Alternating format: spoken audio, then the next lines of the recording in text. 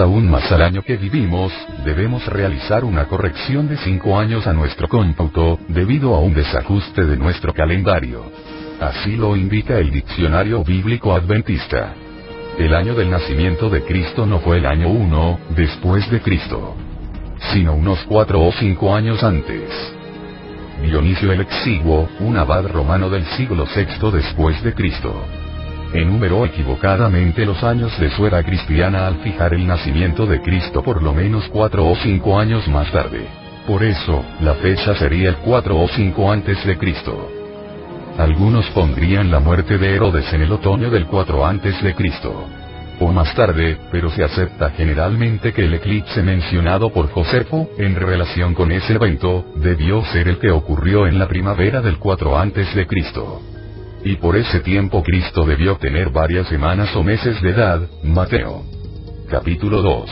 Versículo 1. Herodes vivió por lo menos un corto tiempo después versículo 15 y murió el 4 o 3 años antes de Cristo.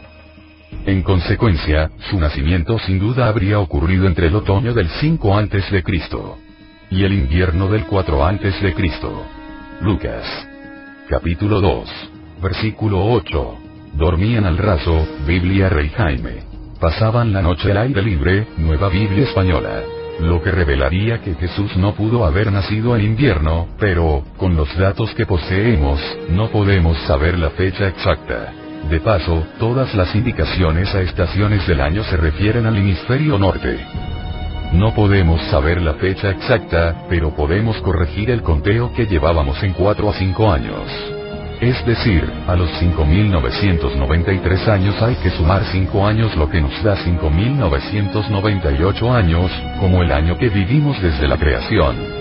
Podemos llegar a la siguiente conclusión basados en el método de conteo inclusivo que estamos viviendo dentro de los 6.000 años, específicamente el año 5.998 desde la creación, a las puertas de los 7.000 años.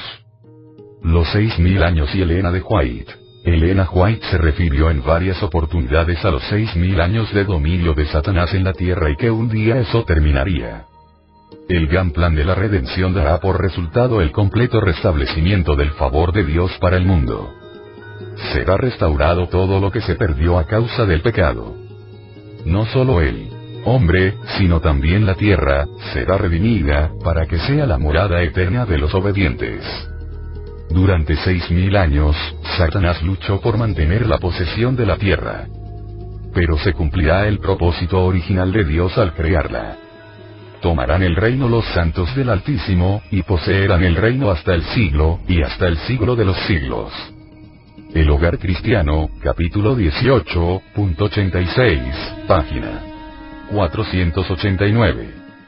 En esta cita de Elena G. Witte señala que como resultado final del plan de salvación es restaurar todo, incluida la tierra, será redimida. Agregando que por seis mil años Satanás luchó para mantener posesión de la tierra. Podemos inferir que seis mil años es el tiempo límite que se le ha dado a Satanás para dominar la tierra y su influencia sobre los seres humanos. Agregando que, la gran controversia entre Cristo y Satanás, sostenida desde hace cerca de seis mil años, está por terminar. Y Satanás redobla sus esfuerzos para hacer fracasar la obra de Cristo en beneficio del hombre y para sujetar las almas en sus lazos. Su objeto consiste en tener sumido al pueblo en las tinieblas y en la impenitencia hasta que termine la obra mediadora del Salvador y no haya más sacrificio por el pecado. El conflicto de los siglos capítulo 33, página 571. Durante seis mil años, la obra de rebelión de Satanás hizo temblar la tierra. Él convirtió el mundo en un desierto, y destruyó sus ciudades. Y a sus prisioneros nunca los soltaba, para que volviesen a casa. Durante seis mil años, su prisión la tumba ha recibido al pueblo de Dios, y lo habría tenido cautivo para siempre, si Cristo no hubiese roto sus cadenas y libertado a los que tenía presos. El conflicto de los siglos capítulo 42 página 718. Los geólogos infieles aseguran que el mundo es mucho más antiguo de lo que el registro bíblico indica rechazan el testimonio de la Biblia, debido a que contiene elementos que, para ellos, no son evidencias tomadas de la misma tierra, de que el mundo ha existido durante decenas de miles de años. Y muchos que profesan creer la historia bíblica se desconciertan porque no pueden dar razón acerca de cosas maravillosas que encuentran en la tierra, observadas desde el punto de vista de que la semana de la creación tuvo solamente siete días literales, y que el mundo actualmente no tiene sino alrededor de seis mil años de edad, exaltada Jesús, 7 de febrero. En referencia a la segunda venida de Cristo, Elena de White escribió, entonces comenzó el jubileo, durante el cual la tierra debía descansar. Vi al piadoso esclavo levantarse en triunfal victoria, y desligarse de las cadenas que lo ataban, mientras que su malvado dueño quedaba confuso sin saber qué hacer. Primeros escritos, páginas 34,35 y 286. El gran plan de la redención dará por resultado el completo restablecimiento del favor de Dios para el mundo será restaurado todo lo que se perdió a causa del pecado. No solo el hombre, sino también la tierra será redimida, para que sea la morada eterna de los obedientes. Durante seis mil años, Satanás luchó por mantener la posesión de la tierra. Pero se cumplirá el propósito original de Dios al crear la patriarcas y profetas, página 335. Véase Romanos capítulo 8, versículos 21 al 23. El gran conflicto entre el bien y el mal aumentará en intensidad hasta la consumación de los tiempos, pero a medida que la iglesia se va acercando a su liberación final, Satanás obrará con mayor poder, por espacio de seis mil años esa inteligencia maestra, no ha servido más que para el engaño y la ruina conflicto de los siglos, página 12. Cuando la voz de Dios ponga fin al cautiverio de su pueblo, se oirá un inmenso grito de victoria conflicto de los siglos, páginas 711 y 698. Durante seis mil años, la obra de rebelión de Satanás hizo temblar la tierra.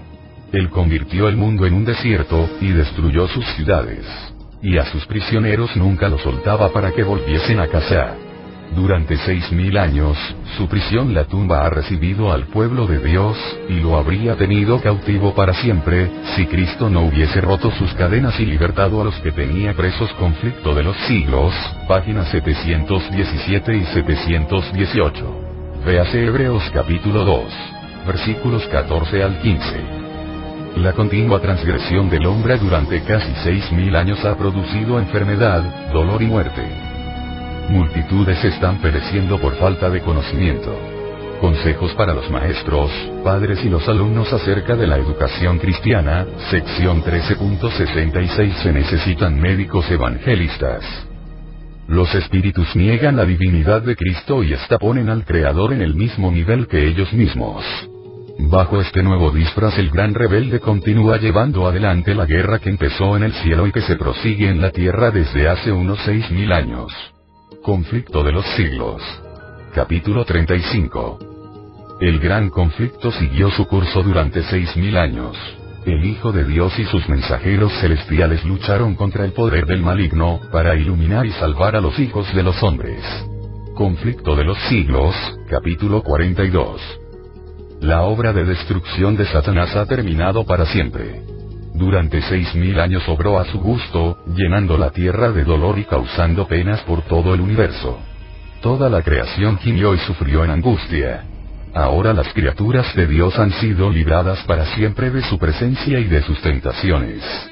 Ya descansa y está en quietud toda la tierra.